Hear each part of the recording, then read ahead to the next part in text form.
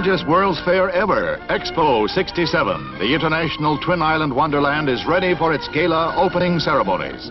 Host Canada is among 62 nations who have built 100 pavilions on the 1,000-acre site of entertainment and education. The lighting of a permanent torch is part of Inauguration Day ceremonies. The multi-million dollar fair is spread over two man-made islands in the St. Lawrence River. Premier Lester Pearson, in pre-opening formalities, touches off the torch, symbolic of the spirit of Expo. The fair marks the 100th anniversary of Canada. It will run for six months.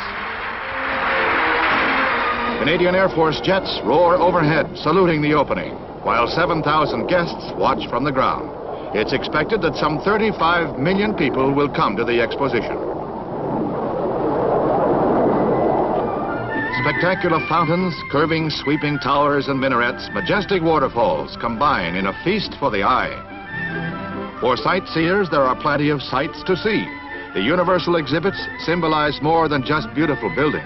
They constitute the most modern advances in art, science, and culture. The amusement area has everything to help the visitor relax, have fun, and enjoy himself. Traditional rewards of any fair. The U.S. Pavilion has a built-in mini rail train, a meeting place of peoples, promoting mutual respect and understanding. Expo